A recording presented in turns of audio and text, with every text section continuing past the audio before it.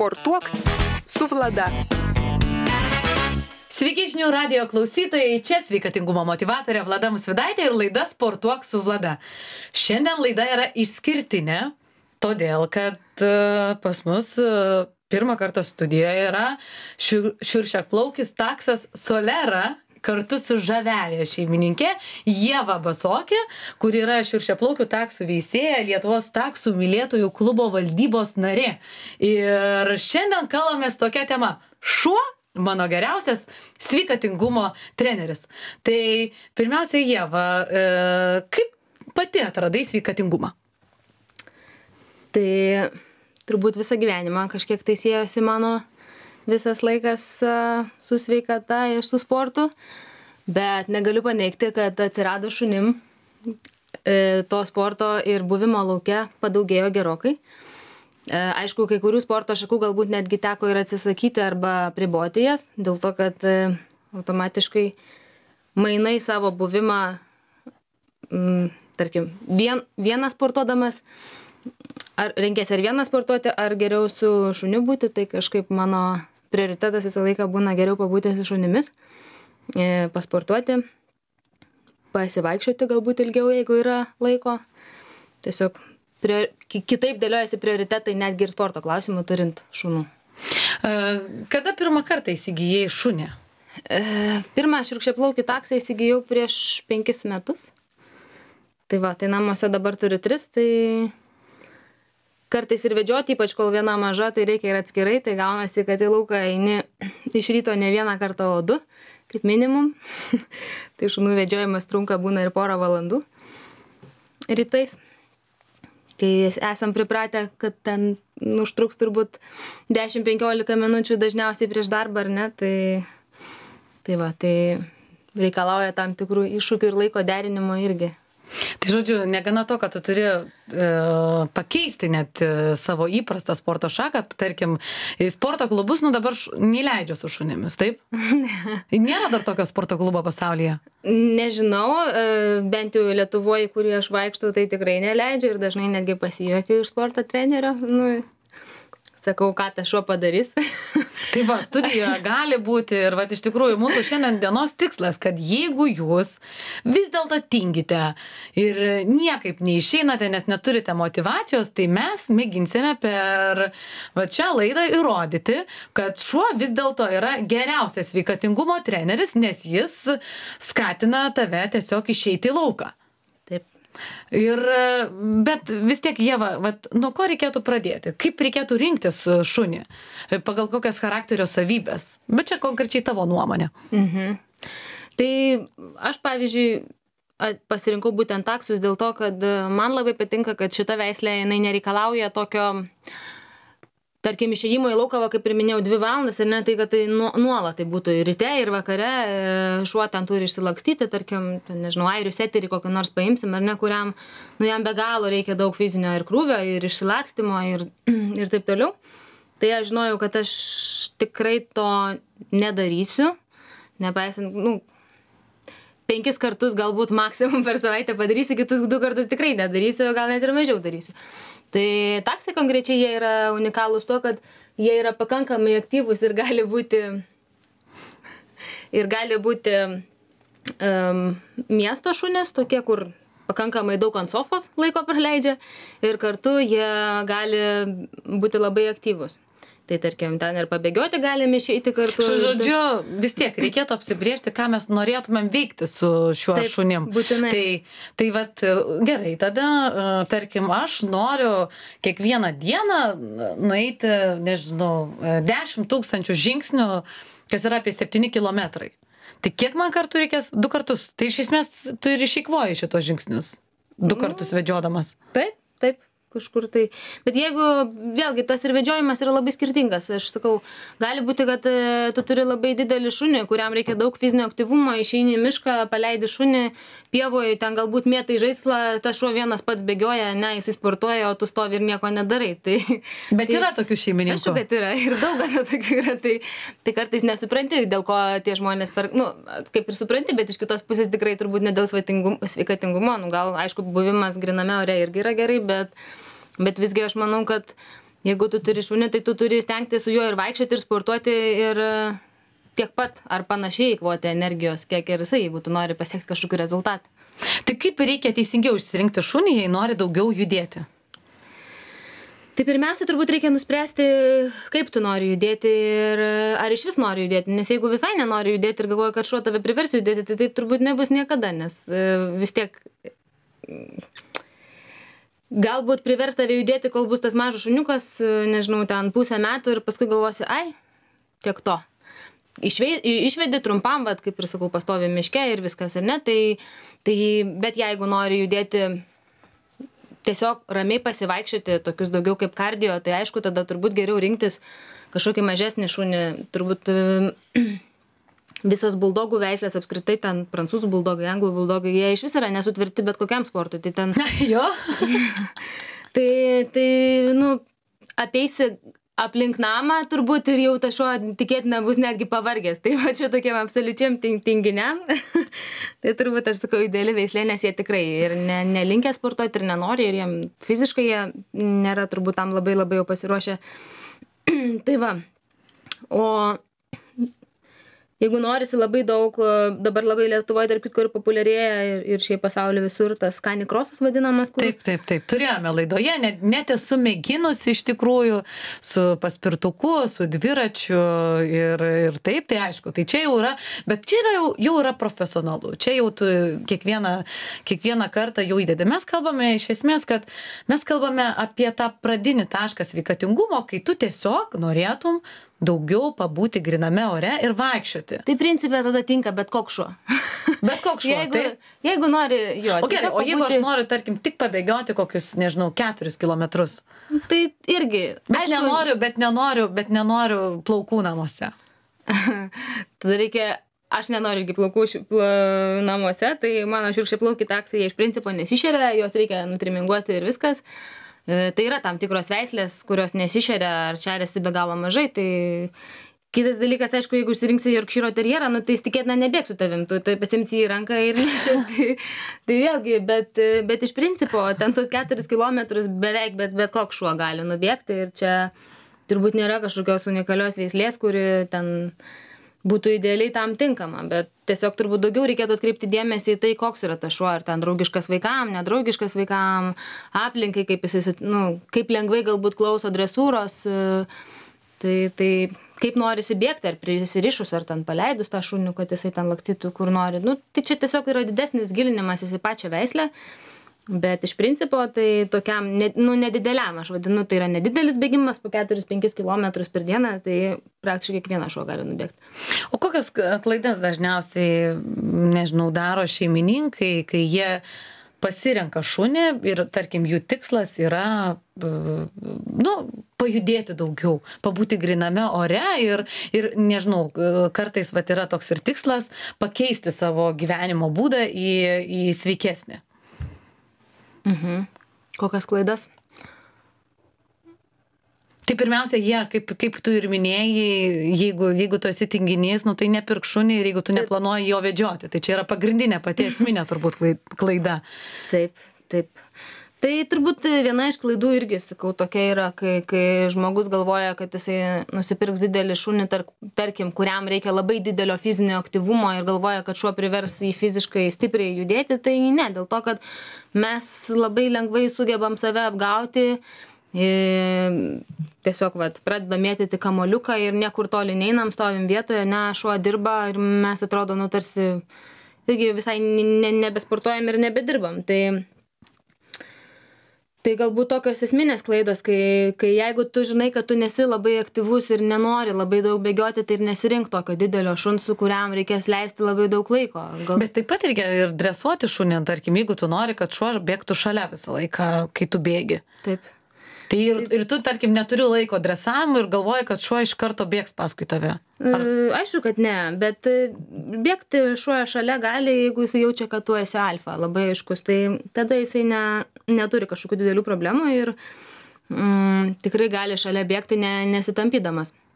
Bet jeigu šuo jaučia, kad ten šeimininkas nėra labai, labai aiški alfa ar ne, ir jisai ten klauso neklauso iš principo jeigu šuo neklauso tai tai taip tada sudėtingas tas bėgimas nes bus ir daug tampymosi ir daug e, nervų kels visas tas procesas ir tada Ir po to turėsi kitas- tiesiog parke ieškoti savo šuns.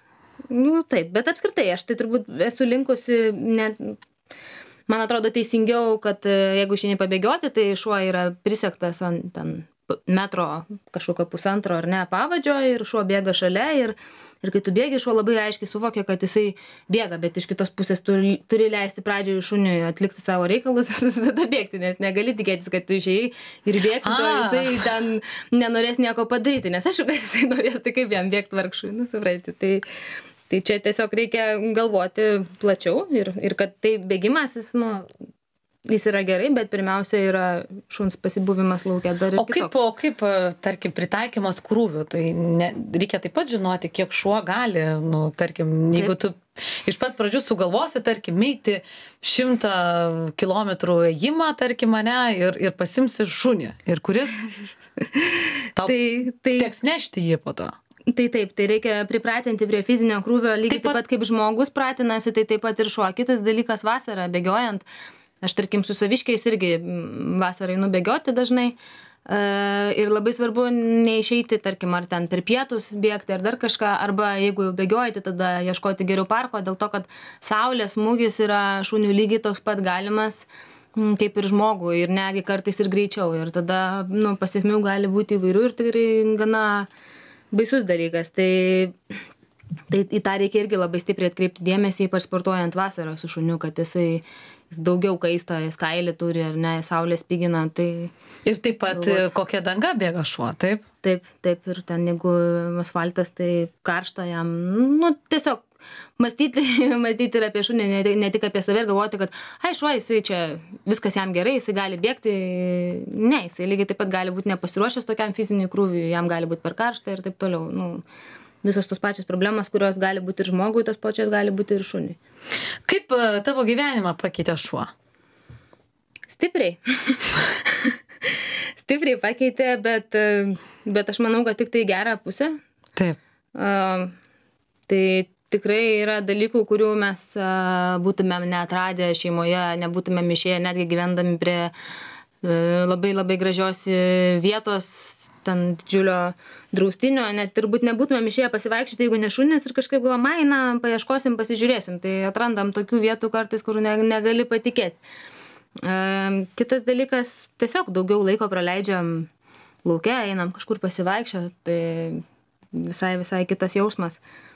Mm, Taip pat mano šunys daug dalyvauja parodose, Uh, užsienį daug važinėjom, tai, tai netgi ir yra tam tikrų šalių, kur mes sakom, patys nenuvažiuotumėm, dažniausiai neapsilankytumėm, bet šunys mus priverčia. Tai, tai čia vat, tiesiog daug dalykų mm, nuveikiam vien dėl šunų, bet aišku ir dėl savęs tuo pačiu ir, ir, ir tas labai malonu. O mm, užsiminėjai apie šunų parodas. Tai čia vis dėlto irgi toksai yra kaip pasirengimas e, tam. Tai yra tam tikras kaip varžybos, taip? Taip.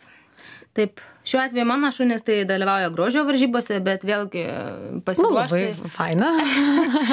pasiruošti tom varžybom ir netgi vaikščioti ten ringė kaip ir nedaug reikia, bet pats pasiruošimas, kol vaikštai į treniruotės, nes vis tiek reikia ir socializacijos ir šuniui, ir tau pačiam treniruočių, tai, tai, tai pavyzdžiui, porą valandų, kol vaikštai ten ratu ir, ir, ir bandai ten šunį išstatyti tobulai ir su juo susikalbėti ir taip toliau, tai, tai tikrai būna tokių dienų, kai aš po treniruotės grįžtu namo, atrodo net suplukus visą, kaip man karšta.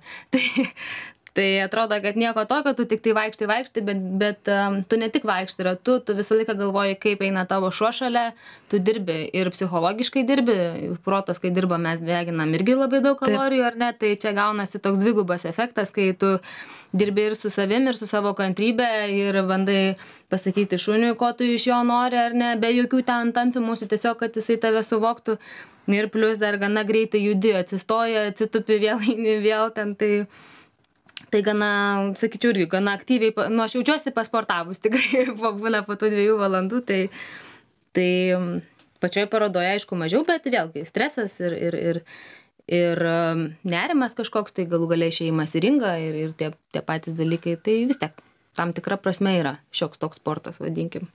Ir, ir kaip suprantu, tu net neketini dabar sustoti taip, nes, bet seku tave Facebook'e, matau, kad vieną po kitą tavo šunis pelno laurus ir net pasidaro net jau ir įdomu, žinai, žiūrėti, kaip čia eina toliau. Tai vat, vis tiek, vat, kokios yra vat, tos, nežinau, šunų galbūt mados, vis tiek, jeigu tu pradedi žiūrėti grožį, tai automatiškai tu žiūri ir sveikesnį šuns maitinimą. Taip tai apskritai veisėjų, veisėjų toks darbas, vadinkim, ar, ar hobis tiesiog yra žiūrėti, kad šuo būtų ir sveikas, ir gražus. Bet automatiškai ir tu pats turi pasitemti, nu, nega, ne, negali, tarkim, jeigu tu rodai tą pavyzdį, tai tu negali ir būti kažkaip apkiautęs, valgyti Žinoma. dešrainius ir, ir žinai.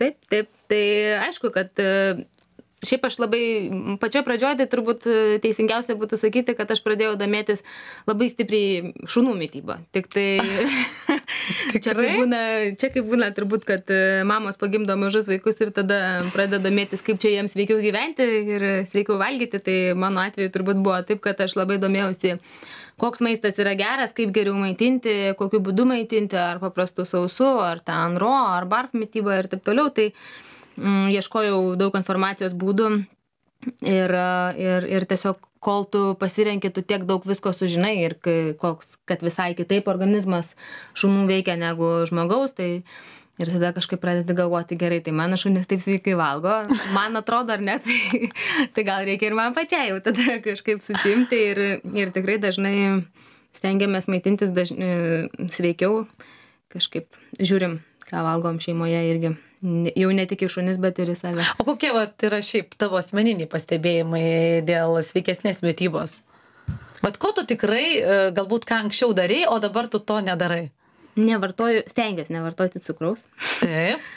E, pakeičiau jį medumi arba nu, tiesiog atsisakiau saldumynų, taip turbūt teisingiausia būtų sakyti. Va, tada valgome daugiau daržovių gerokai daugiau stengiamės vakare valgyti irgi ar ten gryną mėsą ir daržovės kad ne ne ne ne angliavandenius.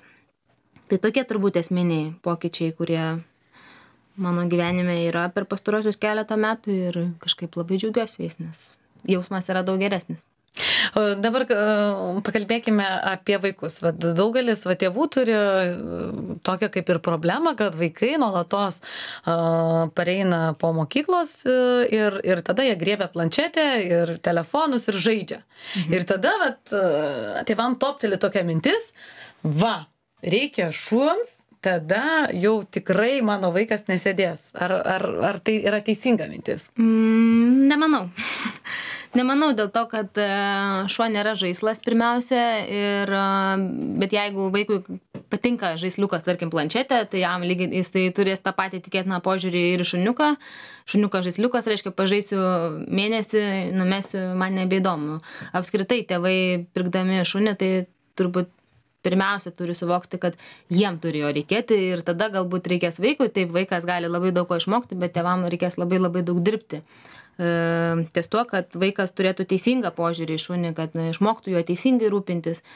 Mm, nes tikrai yra daug vaikų, kurie reiškia per stipriai savo emocijas su gyvūnais ir, nu, tiesiog Taip. Tai žodžiu, jeigu, jeigu jūs sugalvojate tokią mintį, kad šuo pakeis ir jūsų vaikų užimtumą, tai tai yra klaida, nes pirmiausia reikėtų įsilieti patiems į, į visą šitą vat, veiklą ir, ir nes taip atsitiks, kad po to tu vedžiosi šunį, ir, o vaikas ir toliau žais su planšete. Taip, tai labai va. tikėtina. ir Jeva, galbūt pasidalink sėkmės istorijom, ar pažįsti kurios šeimininkus, kurie kurių, kuriems šuo buvo va, tas va, sveikatingumo treneris. Taip, aš vaikystėje turėjau tokį draugą kiemo, kuris uh, tikrai buvo apvalus berniukas ir uh, jo tėvai nupirko, aišku, ten ne, ne veislinį šuniuką, tiesiog Bet, e, bet tai buvo vienas iš tų vaikų, kurie tikrai būna vaikų, kurie labai labai nori ir ten tris metus zirzia, kaip jie nori to šuns, tai aš nekalbu apie tokius vaikus.